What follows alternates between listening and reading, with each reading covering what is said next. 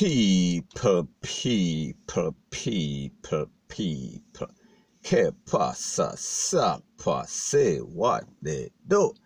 Now, people, you know that if you live in America, Canada, or UK, one of those decent, law abiding places, and you park your car in the wrong place, we are talking about the two-way zone, and the popo come and them catch you, they are going to ticket it.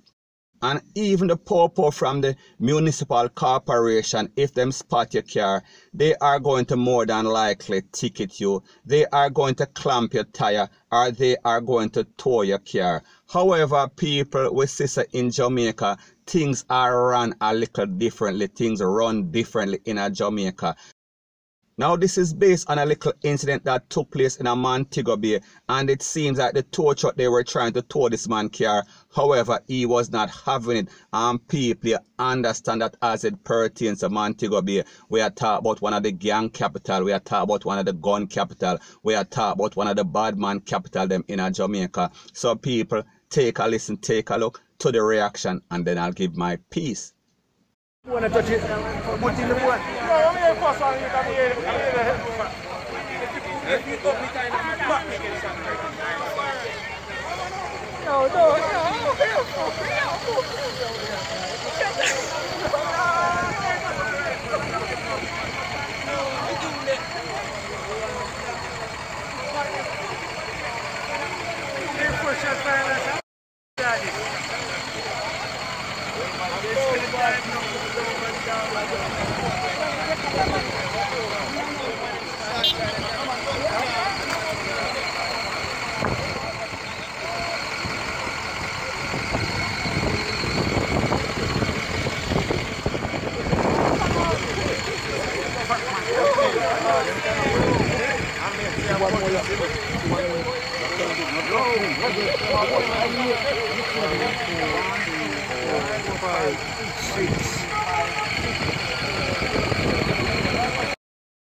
Now, just based on this video, it seems like the owner of the car was kind of P-I-S-S-E-D off and him let off we are talking about a six piece and I am not speaking about no happy meal. We are talking about some stress meal.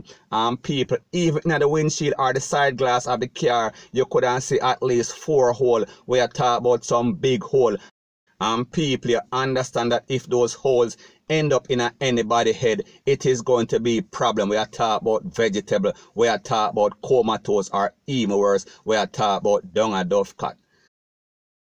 So people, the moral of the story is this, and don't get it twisted, don't get it misconstrued.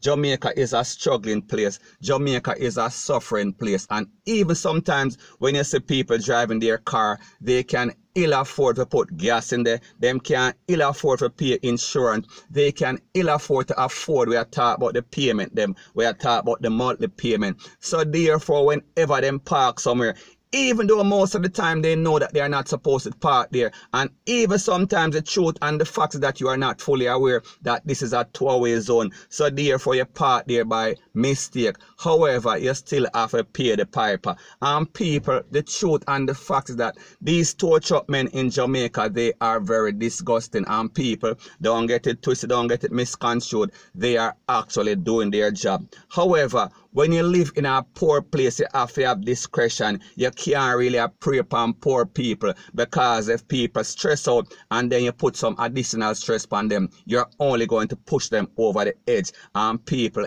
in this case, it seems as if that is the case. And people, don't get it twisted, don't get it misconstrued. I am not saying that this is justified. Me just say I can kind of understand. Not saying that I would do the same. Me just say you can push people over the edge. Especially when they are broke and stressed out. Now, people like me say, I was not there. I don't know what happened. I don't know the underlying story. I cannot put things into context. I am just going based solely off this video and my interpretation of the situation. However, like you see, the car is still on the tow truck. So therefore, the popo, they are going to know who is the person who this car is registered to. So people are talking about problem. So even if this man is a licensed firearm holder, which I doubt, he is going to come under some sort of pressure. We are talking about from the firearm authority, point blank and period. And people, even if he is a G-U-N-M-A-N, we are talking about problems. So people, we just assure you, say, people kind of get ticked off right now. People are on edge right now, and any little thing can basically tick them off. So you have to be careful when you're out there. We are speaking about even on the road because people say, say any card can play, anything can pop off at any point of the time. So Jamaica is like a volcano just waiting to erupt point blank and period. So anyways, people, that is my views on the whole thing as it pertains to that. And like me say, it is just my views and opinion. It is not the gospel. Your views and opinion can be respectfully different from mine. But let me know what you think in the comment section. Bless up.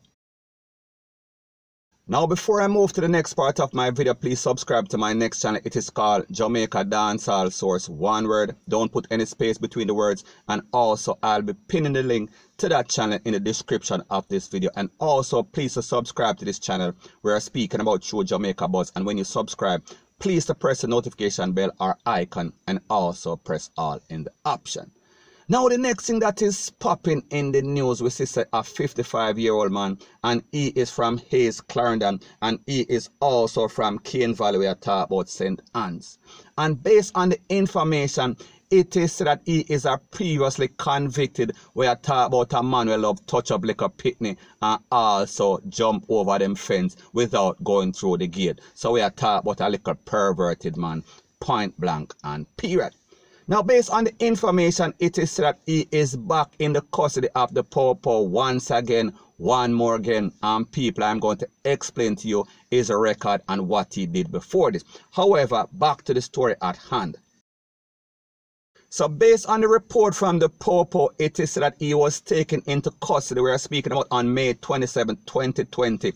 And he was charged with forcible ABDUCTION and also jumping over the fence. And people, if you don't understand what I mean when I say jump over the fence, we are talking about touch up like a picnic. And we are speaking about a minor that is actually under 16 and people in this case the little pitney we are talking about she was 13 year old so people we are talking about a person that just basically enter in our teenage we are talking about a young and point blank and period now, based on the information from the Popo, it said that there was a three-year probe that started from 2017 to 2020.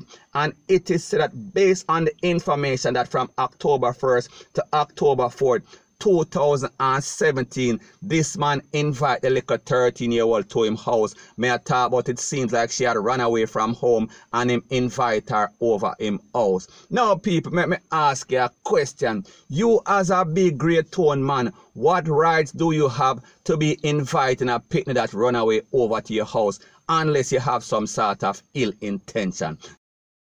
So based on the information from the Popo and resident, it is said that after this little pitney runner from home, him basically take her and put her in her property and jump over her fence. We are talking about a couple of times. So people, we are talking about a man that is 55 and we are speaking about a pitney that is 13. So we are talking about 42 years, the difference. So people, let me ask you a question. What kind of feelings this pervert could have for this little pitney? So anyways, it is said that he locked the teenager in his house and it was somebody that was passing and hearing the pitney scream out and then they went and rescue her and that is how this man was basically put on the radar of the popo. So people, we are talking about a pervert that is getting highlighted. And we are speaking about the next elderly man. We are talking about a man that is like 15 years or 10 years from his retirement. So people, we are talking about one shrivel up balls man.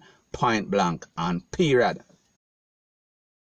Now, what is even more disturbing or disgusting about this whole case is that based on the Popo record, it is said that Mr. Brown, and that is his name, Cecil Brown, he was convicted back in 2016 and he did six months for touching up a little pitney we are talking about a five year old. Now people let me ask you a question. Not see something wrong with the court system and the justice system in Jamaica. Because if a man can touch up a little five year old and get six months, people what must he do to get some real time? However hopefully in this case based on the fact that he is a repeat offender he will get the real time that he deserves. May i talk about life? May i talk about in the big house? May i talk about in the slammer? Point blank and period. So anyways based on the court record and popo report it is that he did six months and he was given a three-year suspended sentence and he was released in 2017 and people fast forward after the three-year probe he is doing the same thing once again one more again. He is getting worse so people what we see here is an epic failure of the justice system once again, one more again, because them let out a little pervert, a little dirty man, a little jankro, for go they go do the same thing and people, that is what he did. And people, the truth and the fact is that when you give somebody like this a chance, if you give them one chance, they are going to violate. If you give them a hundred chance, they are going to violate. So therefore, the only solution is that you basically get them the jungle type or basically lock them away for a very long, long time. We are talking about at least a hundred years. And also castrate them. We are talking about cut off them like a piece and also the piece we hang down. We are talking about the shrivel piece and people don't get it twisted, don't get misconstrued. I don't know, I've never seen it, but just I say it would be my recommendation. Point blank and period. So anyways, people, that is my views on the whole thing as it pertains to that. And like I said, it is just my views and opinion. It is not the gospel. Your views and opinion can be respectfully different from mine. But let me know what you think in the comment section. Bless up.